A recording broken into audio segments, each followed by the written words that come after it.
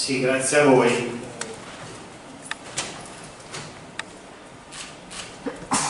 Abbiamo lavorato in Commissione Antimafia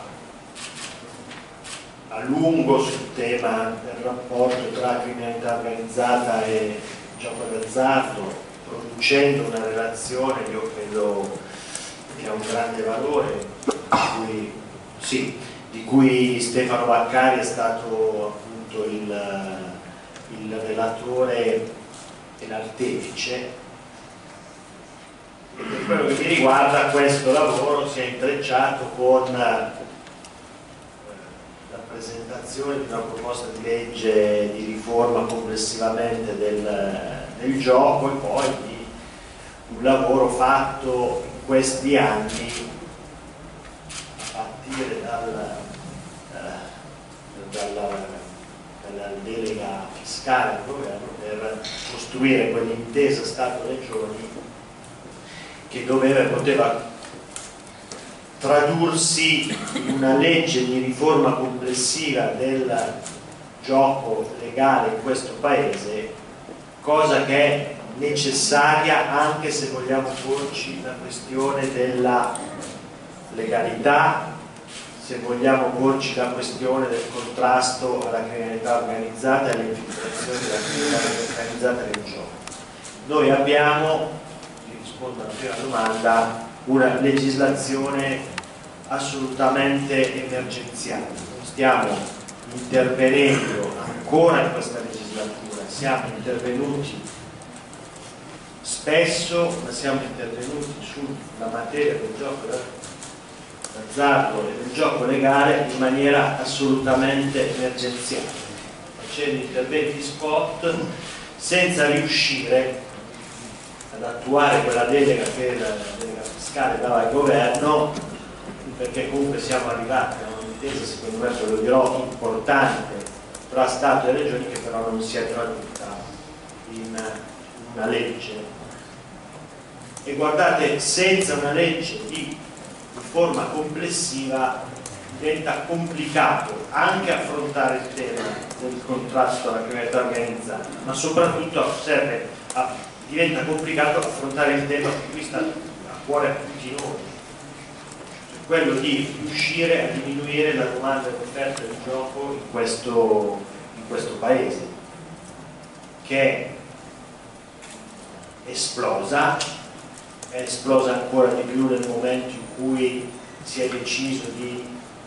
eh, introdurre nel, nei locali pubblici con, con vocazioni diverse da quelle del gioco,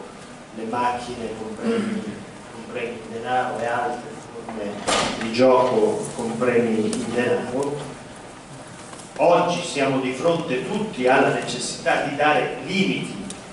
significativi, di tornare indietro rispetto a queste scelte, però in assenza di una legge è complicato. Abbiamo fatto delle cose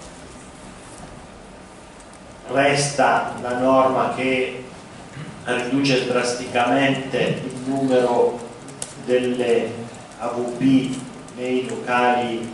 eh, pubblici non dedicati eh, al gioco. Abbiamo, e questo dal punto di vista della lotta alla criminalità organizzata c'entra perché stato uno strumento in mano della criminalità organizzata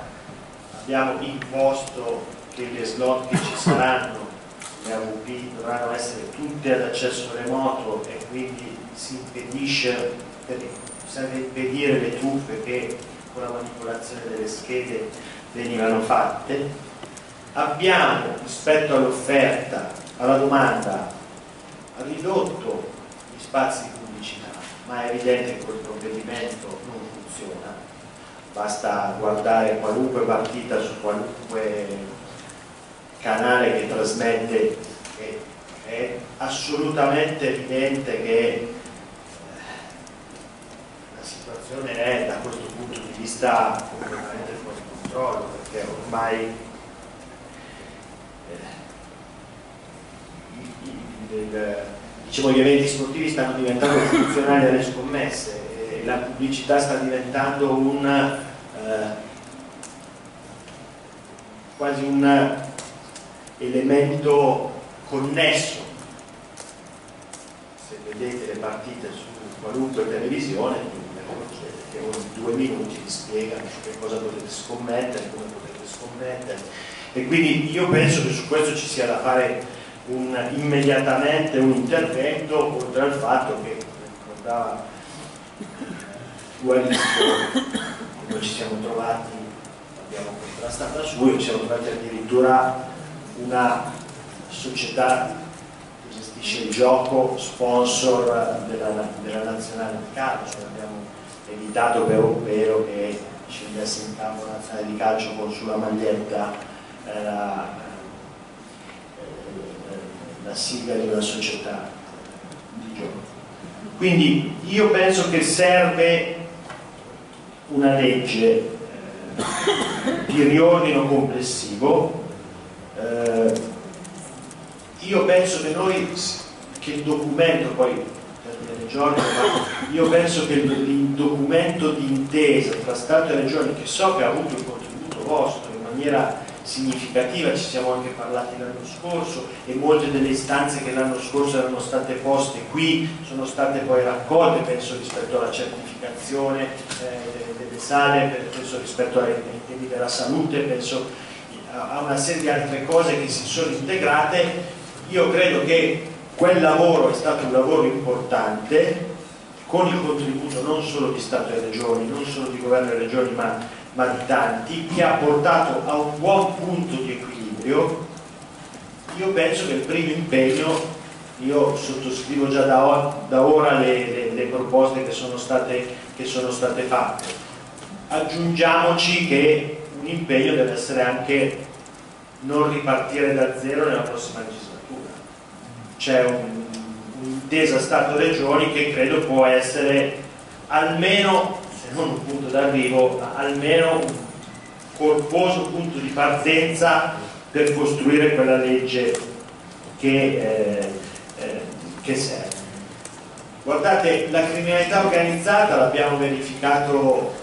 in tutta la discussione della Commissione antimafia, l'abbiamo verificato in tutte le, le audizioni eh,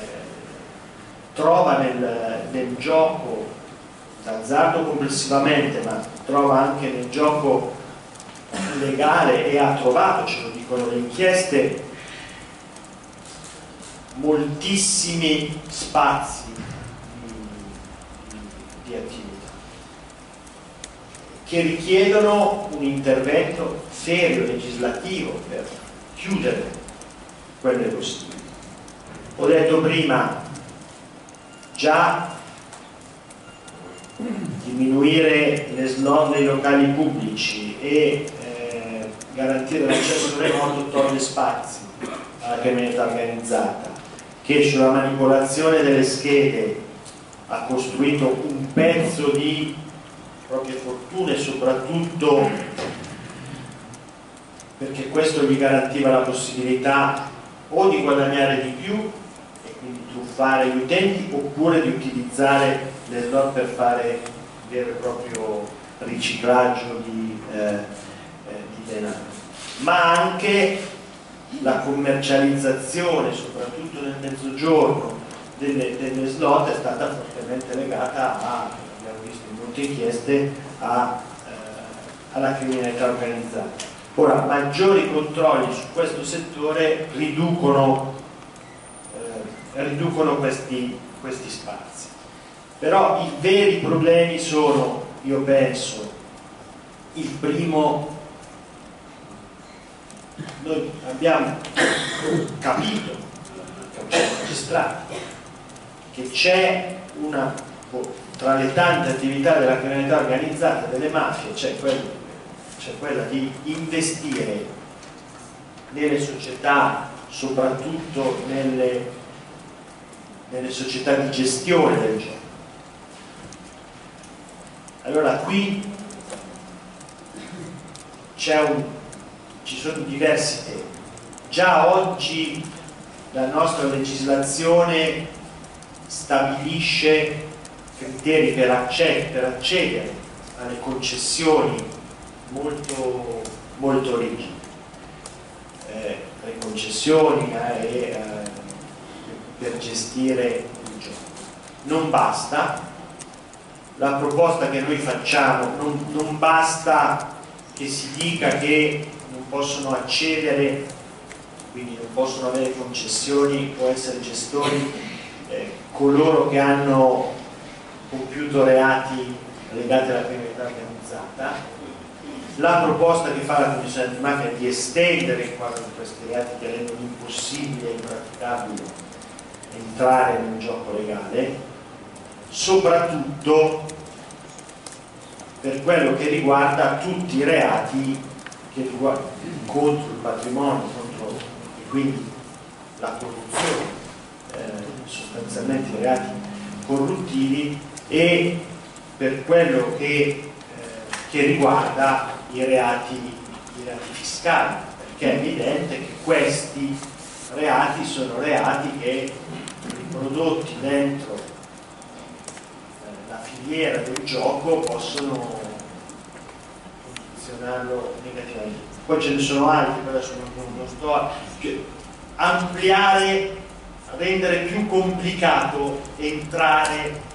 nella filiera del, del gioco per chi ha eh, cari dipendenti che ci fanno intendere o possono lasciare. Quindi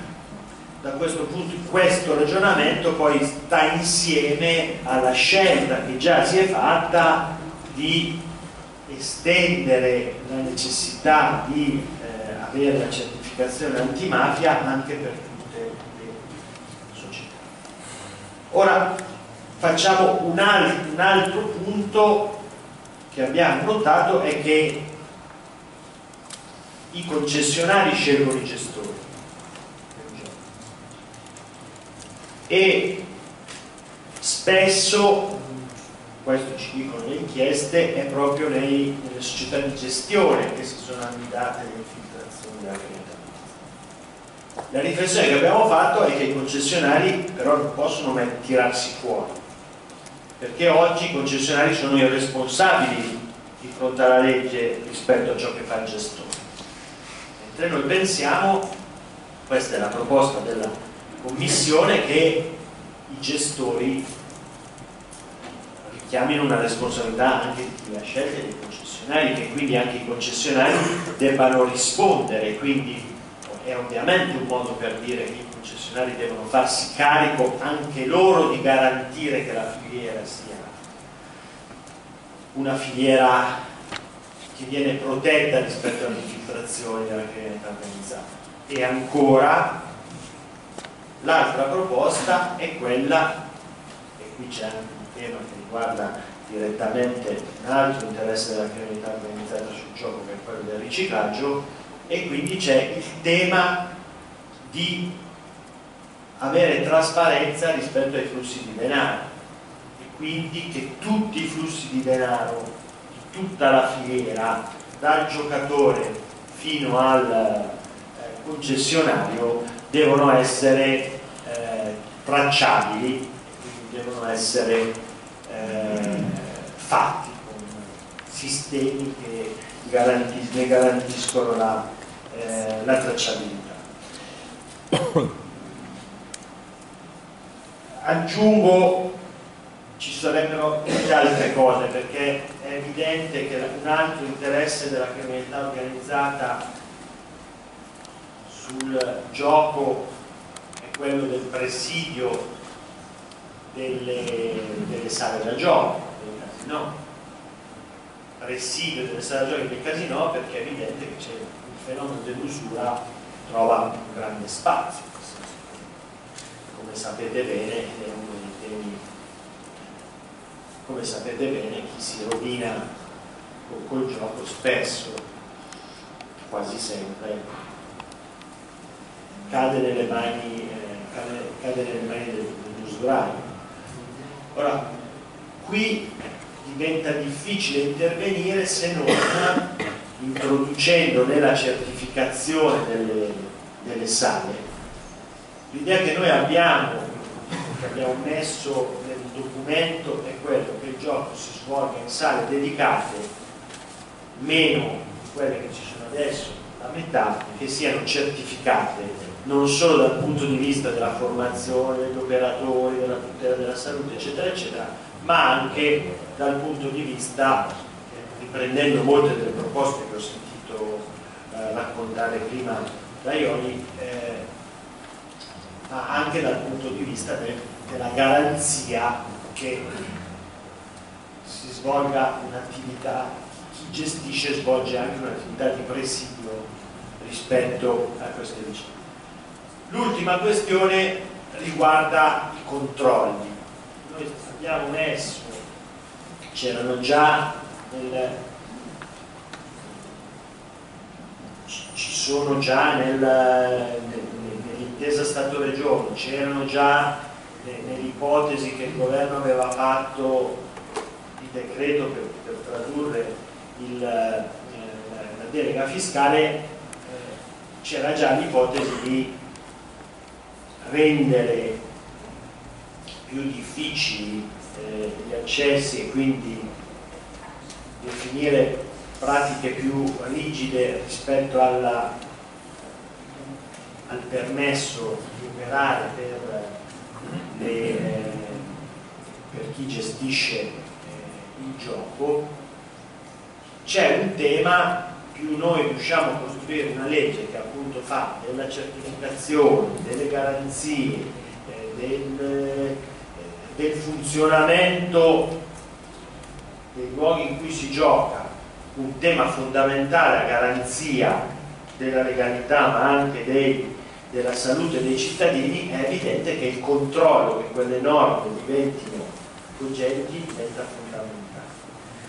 E quindi L'altra idea che avanziamo è quella di responsabilizzare costruire insieme alle forze eh, dell'ordine ma con la partecipazione attiva delle, eh, dei vigili urbani, delle guardie, delle guardie municipali, sistemi di controllo che diano a tutti loro la possibilità di, eh, di intervenire. Sapendo che quando parliamo di interventi noi diciamo non più solo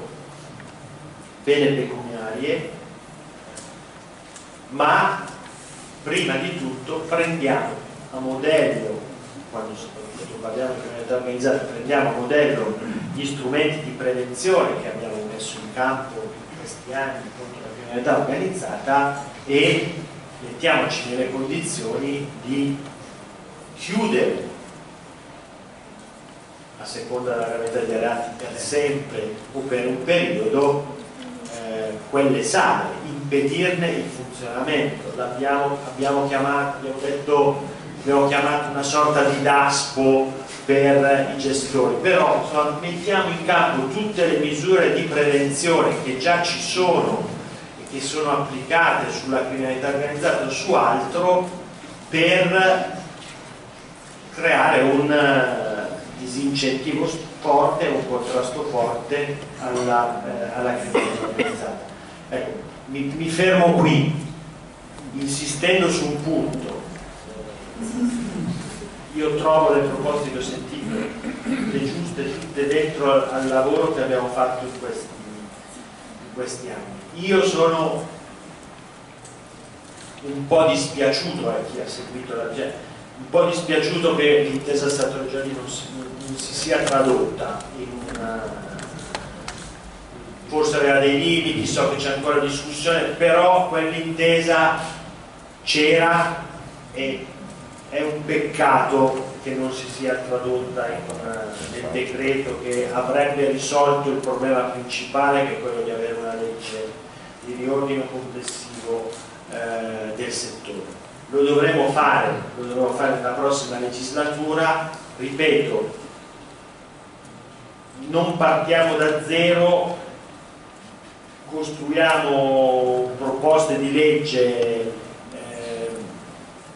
che riprendono que quella riflessione, che